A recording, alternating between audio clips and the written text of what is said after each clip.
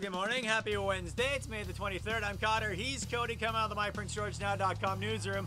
Well, if you're hoping to save some money with Flair Air and get those $79 cheap flights, well, unfortunately, uh, they're not coming anymore. All the details, MyPrinceGeorgeNow.com. Text topic today there are sprinkler restrictions in effect. If you live in an even number house, you can do it on even number days, odd number house, odd number days. Uh, so we were just wondering are you obeying the sprinkler restrictions? How are you handling the situation? Yeah. I think I found the perfect loophole. Uh, I live in an even number house. Cotter lives in an odd number house, so I'm just going to bring my slip and slide over to his place today.